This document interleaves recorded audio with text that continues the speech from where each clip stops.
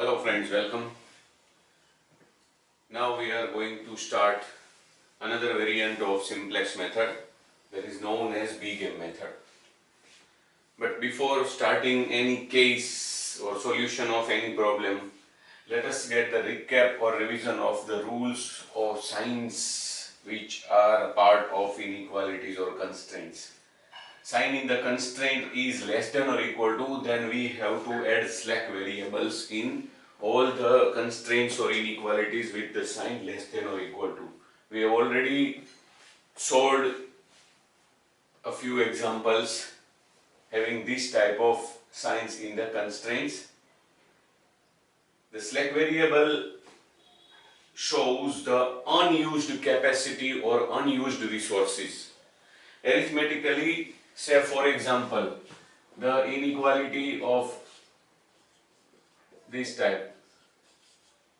And when we get the optimal solution of the problem, it is possible that we get the values of x1 and x2 such that if we substitute these values in this inequality, the summation of left hand side might be exactly equal to 100 or less than 100. When the summation of the left hand side is less than 100, how can the equality part be satisfied? Say 2x1 plus 4x2 equals to 100. But the original constraint also allows the summation or total to be less than 100. When we solve the linear programming problem, we solve it through always the equality. But as a part of solution, it is possible as allowed by this original constraint to have the values of x1 and x2 such that they give the total of the left hand side less than 100 in this example.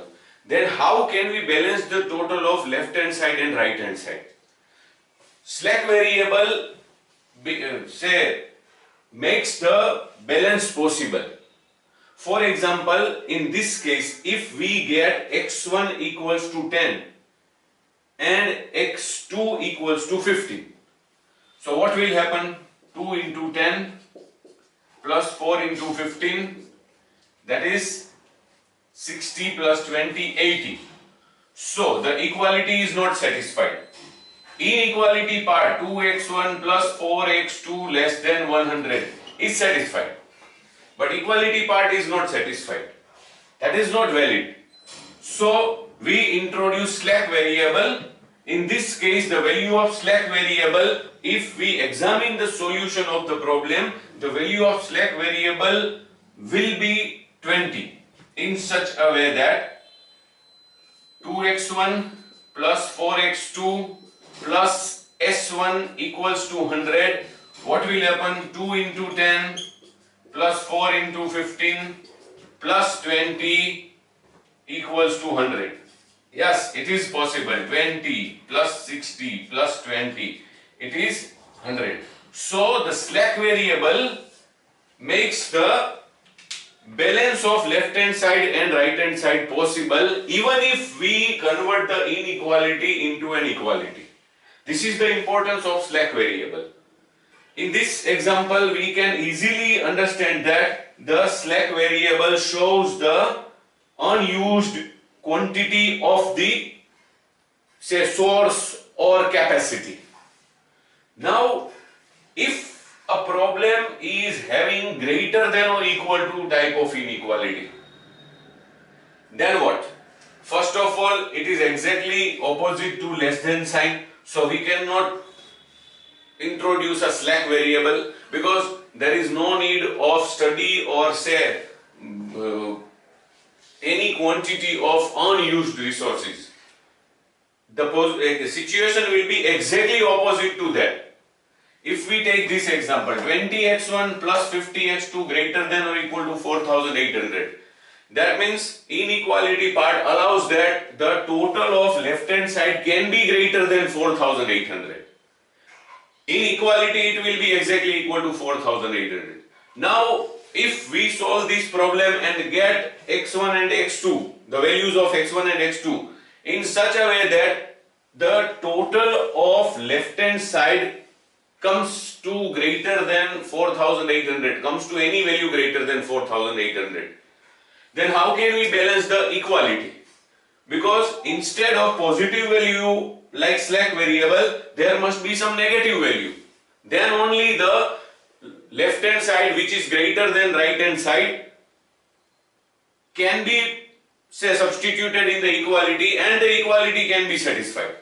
So we have to subtract something instead of adding slack variable. So we subtract surplus variable.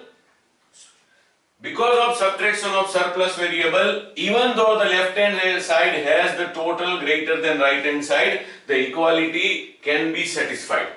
For example,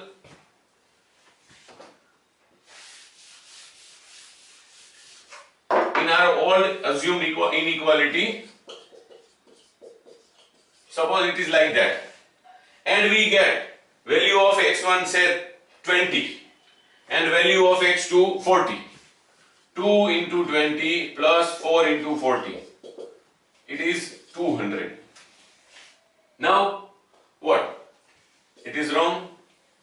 But inequality part allows us 2 into 20 plus 4 into 40 greater than 200. Yes, it is a, sorry, 100. Now, how to balance this part into equality? So, we have to do something like this. That means 2 into 20 plus 4 into 40 minus 100 equals to 100 is possible. Then what is this minus 100? That minus 100 is the surplus variable subtracted. This 100 shows the surplus variable. So, in case of greater than inequality, we have to subtract the surplus variable which is exactly opposite to the logic of adding slack variable in case of less than equal inequality. Another part is in this case greater than and equal to are treated two separate signs. In this case less than and equal to both are treated as a single sign while in this case both are treated as separate sign greater than and equal to. For greater than part we subtract surplus variable. For equality part we have to add artificial variable. Yes, we have to add artificial variable. Otherwise, what is the reason behind uh, introducing or adding artificial variable? Like slack variable, we cannot start a solution with surplus variable taking a solution variable. That is not possible. Mathematically, that is not possible. So, if we introduce only surplus variable in these two inequalities, we cannot start with the initial solution. In case of initial solution, we should have another variable over and above the surplus variable. That's why to start with initial solution, we add artificial variable. As the name suggests, it is artificial. It has no numerical value in the optimal solution. So, just for the purpose of starting with initial solution, we introduce artificial variables. And when we introduce artificial variable in any inequality having sign greater than or equal to or in equality itself, we can take artificial variables as solution variables in the initial solution and we can start the mathematical process of solving the problem and gradually say reaching the optimal solution. And that's why when any artificial variable goes out from the row, we will also remove its column from the simplex table. See, Big M method is another variant of simplex method. So originally it is simplex method. But because of the introduction of artificial variable, we have to say use some new things in the simplex method and one of them is use of capital M as an say as a coefficient of artificial variable in the z function or objective function that's why this is known as Big M method but at present it is very important to note that slack variable shows the unused capacity. That's why we have to add it to the inequality having sign of less than or equal to. Surplus variable is exactly opposite to the slack variable. That's why we have to subtract the surplus variable when we have the sign greater than. Artificial variable is introduced in the equality to start with the initial solution. So now to solve the given problem, first as usual we have to simplify it. Let us simplify it. What is going to happen? The objective is minimization. Signs are greater than or equal to. Both are in matching with each other. But because of sign of greater than or equal to, we shall have to introduce two virtual variables, surplus and artificial. Now, let us write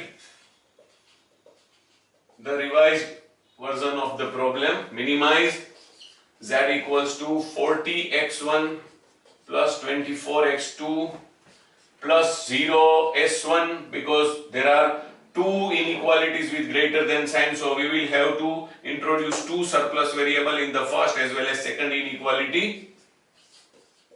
Now what? What will be the sign of artificial variable in the objective function or z function?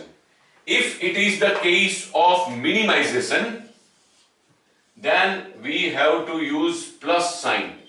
Plus ma1 and plus ma2 we have to use plus sign when the objective is minimization. That means we can conclude that we have to use minus sign with ma1 ma2 type of variables in the objective function when it is the case of maximization.